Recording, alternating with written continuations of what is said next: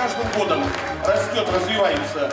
А рачительное использование земли помогает собирать достойный урожай даже в самые засушливые годы. Александр Гуков создал крестьянское хозяйство 25 лет назад. Сегодня это крупное сельскохозяйственное предприятие с современной материально-технической базой. В распоряжении хозяйства почти 20 тысяч гектаров земель, на которых выращиваются и перерабатываются зерновые и технические культуры. Продукция предприятия известна далеко за пределами края. От Калининграда до Владивостока, от Норильска до Душанбе. Конечно, это приятно.